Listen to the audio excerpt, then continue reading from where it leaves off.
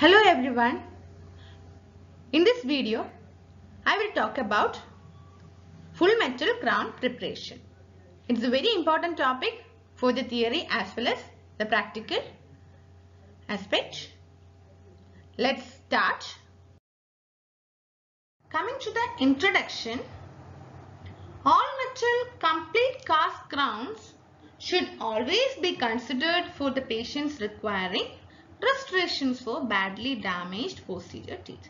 These are the pictures showing the cast metal crowns. And the longevity is also very superior to the other face restorations.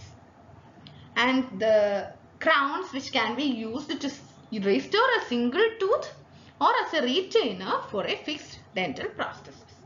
As the name suggests, it can cover all the axial walls and the occlusal surfaces of the tooth. Here, this picture shows the full metal restorations which act as a retainer for fixed partial dentures. This arrow mark shows the occlusal rest. And here the complete cast crowns which is used to restore the molar teeth subjected to high loads. And here the canine and premolars are more visible and loaded to a lesser extent. And so it is restored with the metal ceramic crowns. Okay.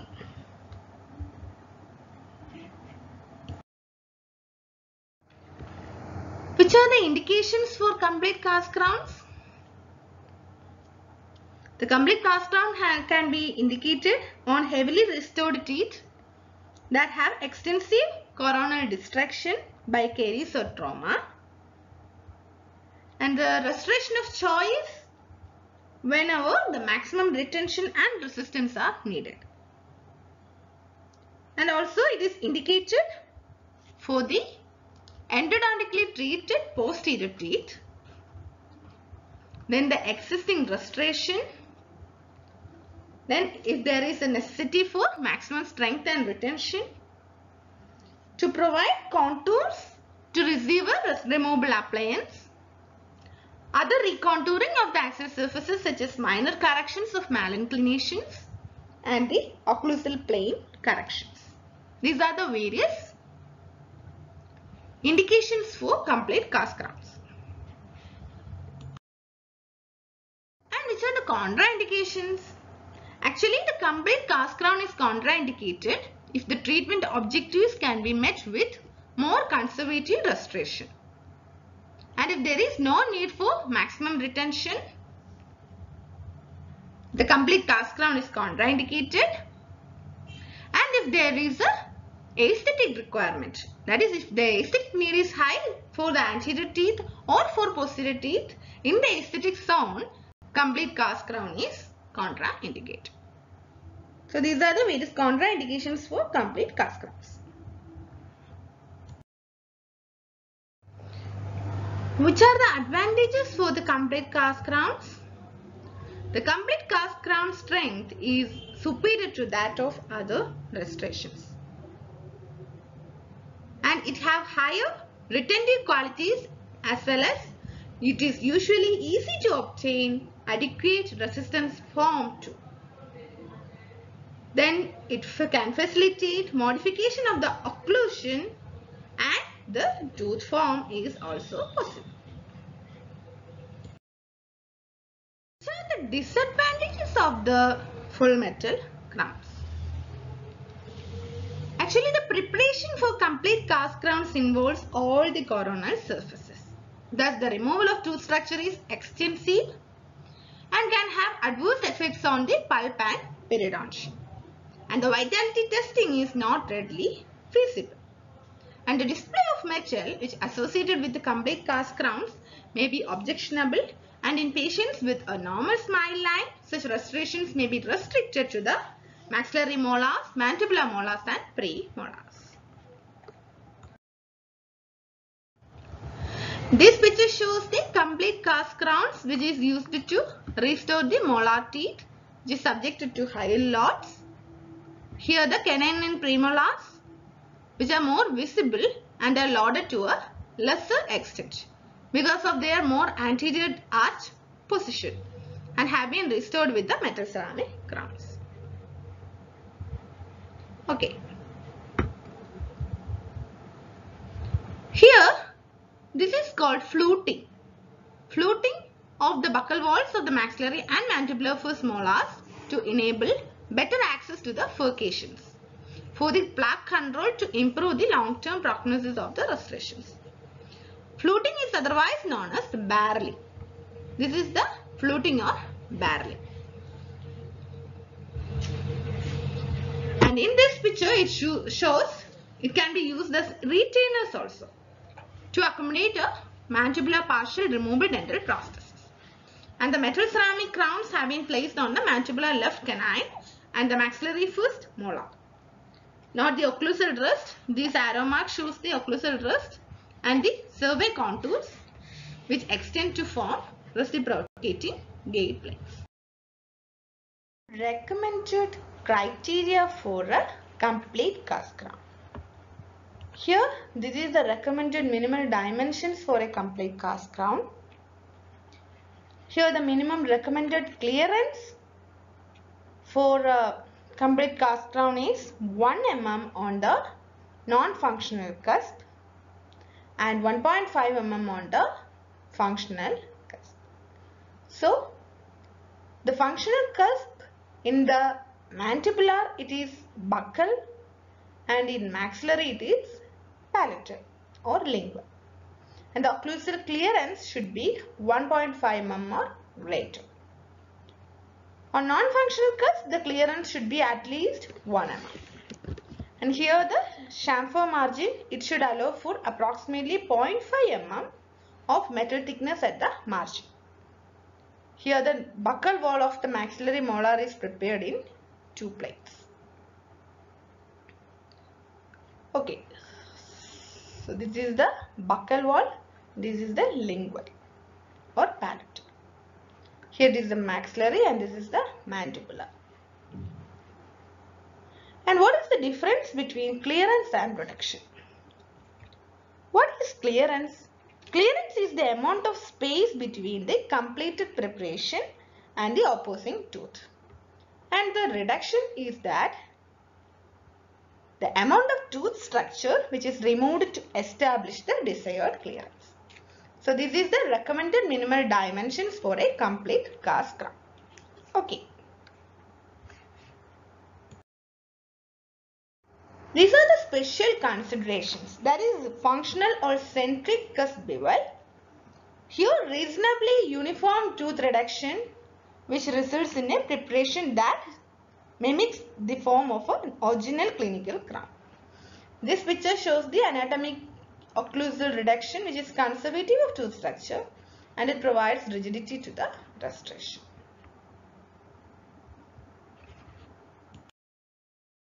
Picture showing the functional cusp bevel. The proper placement is very important. Here this is the functional cusp bevel which is prepared by slanting the rotary instrument at a flatter angle. This dashed line shows the functional cusp bevel. And it ensures the necessary clearance over the functional cusp.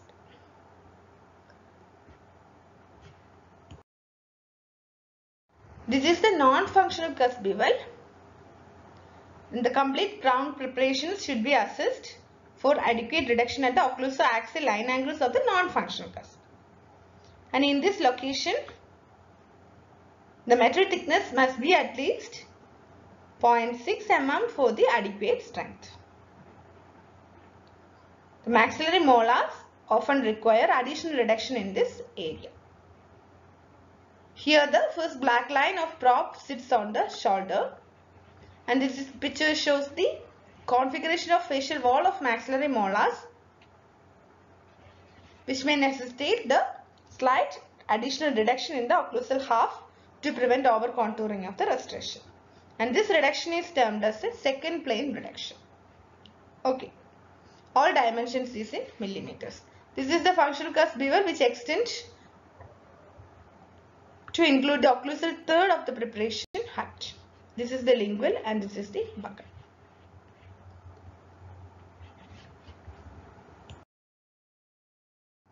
Coming to various steps in preparing a tooth for a full coverage metal crown. These are the various steps that is occlusal reduction and function cusp axial reduction, proximal reduction, finishing and evaluation and a buccal seating groove.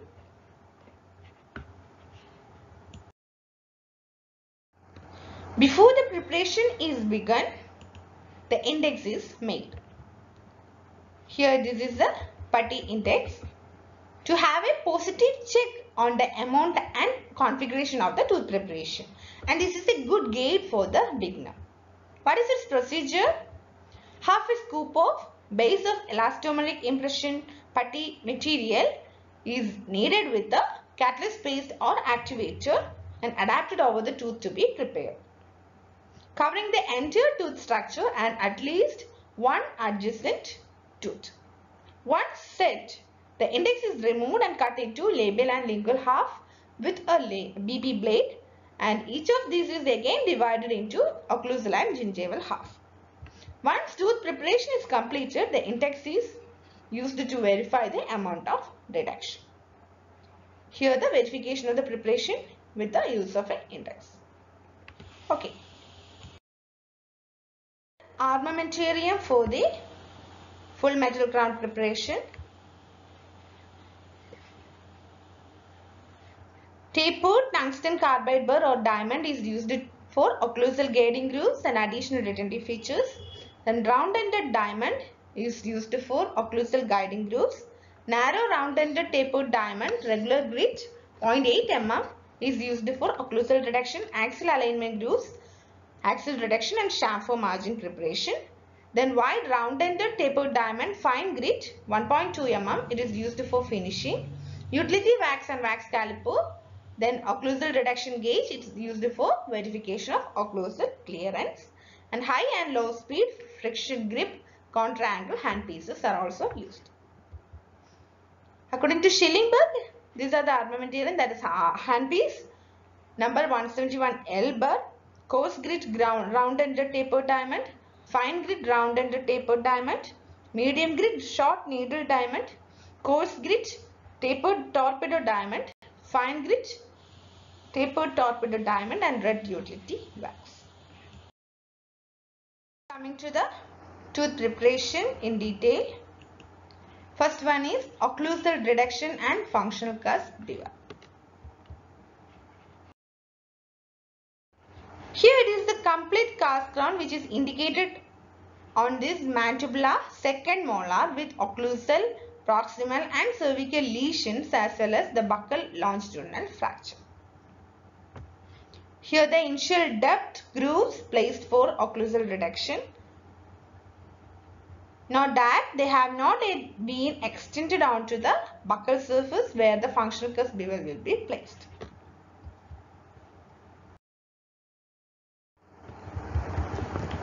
These are the guiding grooves which are placed on the occlusal surface and they are deeper on the functional cusp and for the functional cusp bevel. They diminish in depth from the cusp tip to the cervical margin. So grooves are deeper for the functional cusp. So depth orientation grooves are placed on the occlusal surface of tooth to provide an easy reference to determine where, when the reduction is sufficient. After the guiding grooves are placed, the occlusal reduction is performed. Here, the occlusal reduction is performed. Either the mesial or distal half is maintained initially as a reference to facilitate evaluation of adequacy of the uh, reduction. So half of the occlusal reduction is performed, other half is maintained for the reference purpose.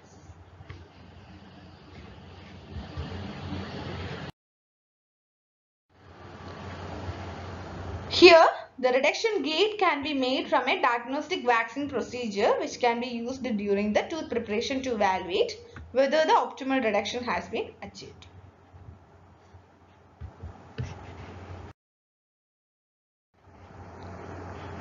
Here the occlusal reduction is using coarse grit round and tapered diamond and number 171 L. So the preparation of for a full coverage crown is begun with the occlusal reduction creating 1.5 mm of clearance on the functional and 1 mm on the non-functional cusp.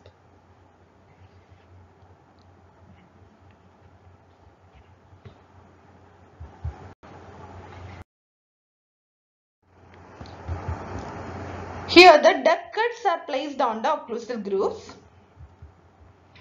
These depth cuts should follow the anatomic contour of the tooth. And these depth cuts are placed on the triangular ridges. Here it is the completed occlusal preparation checked with the index. This is the completed occlusal reduction using round and tapering diamond. Okay. Here this is the functional cusp bevel using coarse grit round ended tapered diamond and number 171 elbow. Here is the wide bevel which is placed on the functional cusp again using this round and tapered diamond. And the depth orientation grooves are also helpful in obtaining this reduction. This functional cusp bevel which is placed on the facial inclines of mandibular facial cusp and the palatal inclines of the maxillary palatal cusp. It is an integral part of the occlusal reduction. Failure to place this bevel can produce a thin casting or poor morphology in the restoration.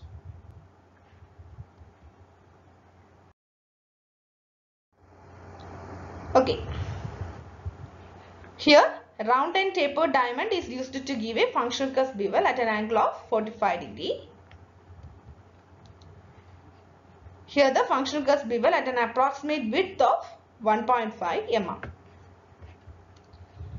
This is the completed function cusp bevel using a round and tapering diamond.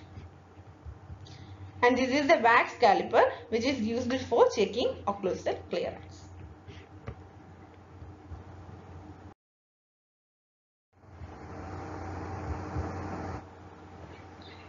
Now the angulation of the burr as the functional cusp is uh, cusp bevel is placed. Here the angle is slightly flatter than the original cusp angle to provide more clearance for the centric cusp than for the axial wall. Here it is a completed occlusal reduction. It follows the normal occlusal form. Three distinct slopes can be seen buccolingually.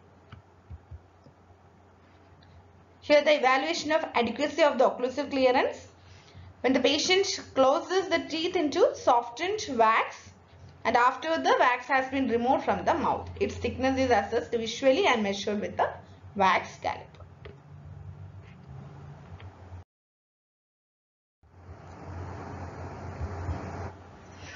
Here the occlusal clearance can be judged intraorally with a reduction gauge. This is the reduction gauge and this instrument has two spherical tips one that is 1.5 mm in diameter and other one is 1 mm in diameter. This is the occlusal clearance measuring reduction gauge. Okay.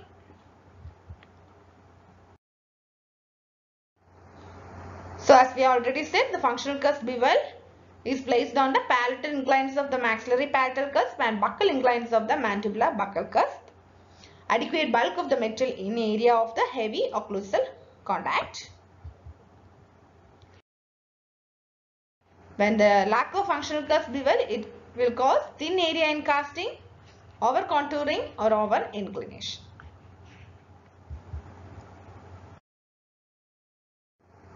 So the next step is axial reduction.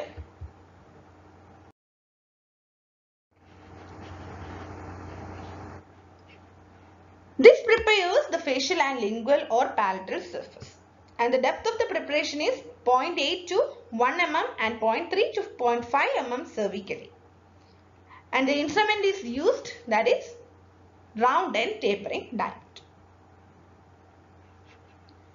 Here the depth cut occlusal contour and the depth cut following cervical contour showing half diamond sunk in which is parallel to the path of insertion. So the technique for the axial reduction is similar to that for the occlusal reduction. And the residual islands of the tooth structure between the alignment grooves are removed. Okay, and the chamfer margin is created. Here the narrow round-ended diamond is used for the preparation. Okay. When placing these grooves, keep reduction to minimum at the tip of a diamond.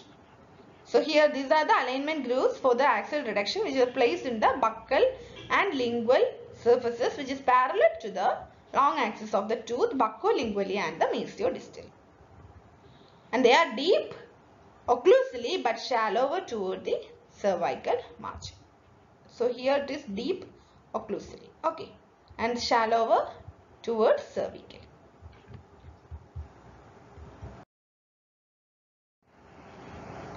So here it is the facial and lingual axial reduction using coarse grit tapered torpedo diamond.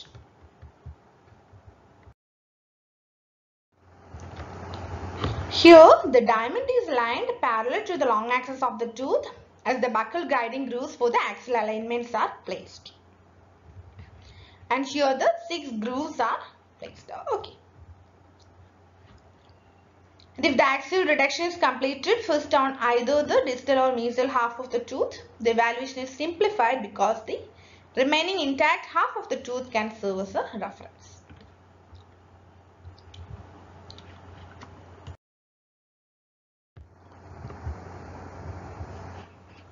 Here the alignment of the diamond as the tooth structure between alignment grooves is removed. This is the axial reduction. The distobuccal axial reduction have been completed. Distobuccal area. Okay. As the mesiobuccal axial surface is reduced, chamfer, uh, chamfer margin. Okay, here the cervical chamfer margin is placed. And the chamfer margin should be of relatively even width and maintain somewhat rectangular preparation outline form to enhance resistance form.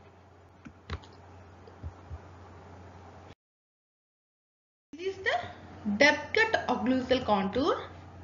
Here it is the depth cut following cervical contour showing half diamond sunk in which is parallel to the path of insertion. Three such grooves are placed equally spaced along the facial and lingual surface and the gingival termination should be established with the depth cut and it should be placed supragingivally on the enamel.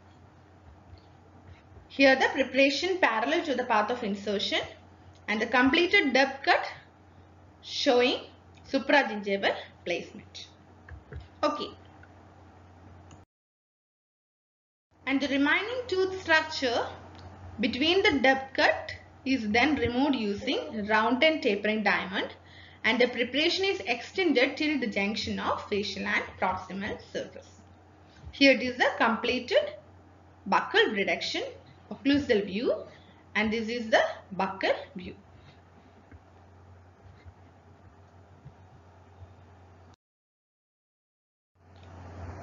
And this is the picture showing verification of the preparation using putty index. The facial reduction is checked with the putty index. And a similar procedure is adopted for preparing the lingual surface. These are the depth orientation grooves on the lingual surface. This is the completed lingual preparation that is lingual view. Here it is a completed facial and lingual preparation. This is the occlusal view. It is verified with the Putty index. And this is the completed axial reduction using round and tapering diamond. Okay.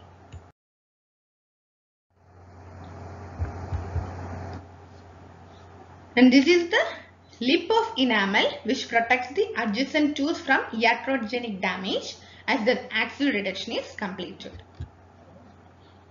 So as the axial reduction is performed, eventually a small island of tooth structure will remain in the interproximal area. When removing this, it maintains a narrow lip of tooth structure between the diamond and adjacent tooth to protect the lateral from damage. And this picture shows breaking the proximal contact. To next step that is proximal reduction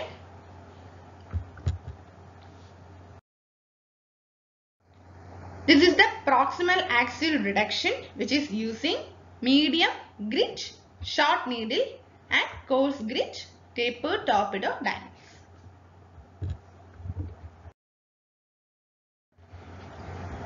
And this prepares the mesial and distal surfaces. Depth of preparation is 0.8 to 1 mm and 0.3 to 0.5 mm cervically. Short thin tapering diamond or needle diamond followed by round and tapering diamond. And care should be taken to protect the adjacent teeth. The matrix band can be used as described in this figure.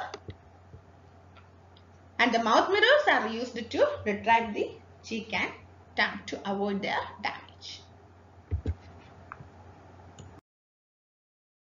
And thin tapering diamond is used in a vertical sawing motion in an occlusal gingival direction from facial to the lingual surface.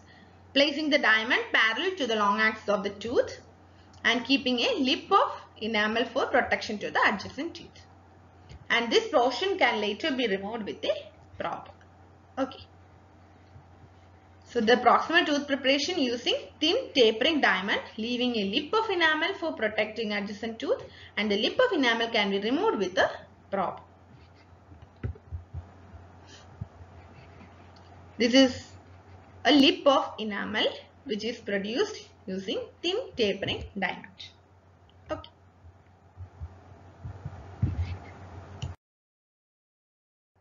Now there is adequate space proximally to use a round and tapering diamond and the surface is prepared to its required dimensions with a 0.3 to 0.5 mm chamfer. So here it is completed proximal reduction, occlusal view and this is a facial view. And this is the completed proximal reduction using short thin tapering diamond and the round and tapering diamond. Next step that is finishing and evaluation. Chamfer and axial finishing is used with fine grit tape, tapered torpedo diamond. The axial surfaces are finished using a torpedo diamond of fine grit or torpedo burr and the occlusal finishing is used with flattened tapering fissure burr. And the next step is the buccal seating groove.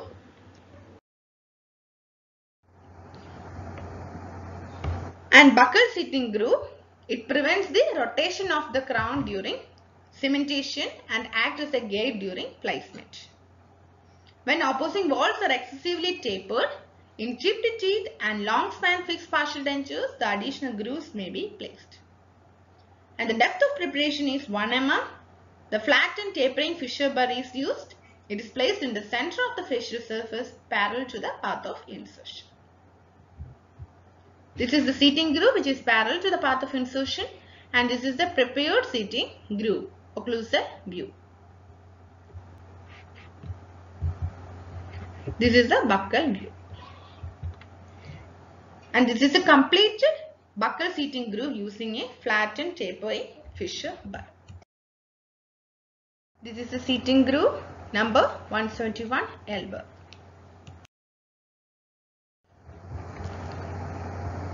Note that the adequate clearance that is more than 6.6 uh, mm which exists between the external surface of the proximal chamfer margin and the adjacent tooth. This is the occlusal view of the preparation. And the transition from lingual to occlusal surface is rounded with a fine grit diamond. All the sharp angles between the occlusal reduction and functional cusp bevel are similarly rounded and the margins are refined and uh, any remaining irregularities are removed. This is the completed preparation. The carious lesions have been excavated and the resulting irregularities have been restored with the amalgam. This is the buccal appearance and this is the occlusal appearance.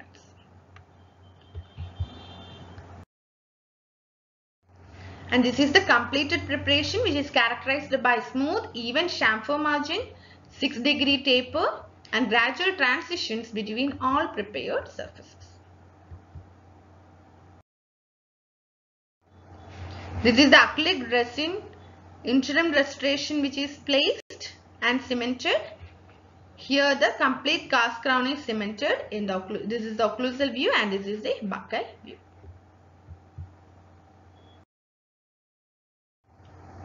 And these are the features of a mandibular full metal crown preparation and the function served by each. Planar occlusal reduction that is structural durability.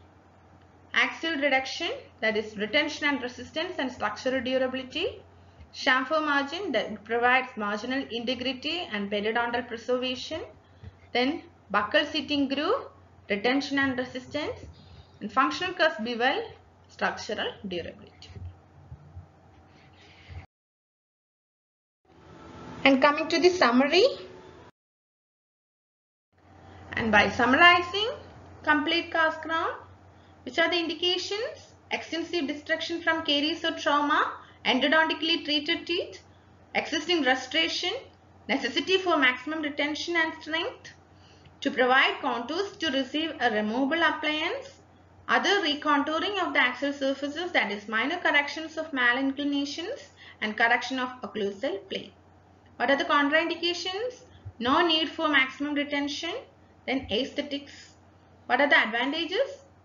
Strong, high retentive qualities, usually easy to obtain, adequate resistance form, option to modify form and occlusion and the disadvantages are removal of large amount of tooth structure, adverse effects on tissue, vitality testing is not readily feasible and display of metal. And which are the preparation steps? Depth grooves for occlusal reduction. Tapered tungsten carbide or diamond is used. Minimum clearance of on non-centric cusp is 1 mm.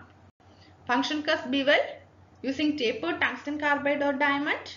Minimum clearance on centric or functional cusp is 1.5 mm. Occlusal reduction half at a time. Regular grit, round-ended diamond, flatter than cuspal plane to allow additional reduction at functional cusp. Alignment grooves for axial reduction using tapered diamond.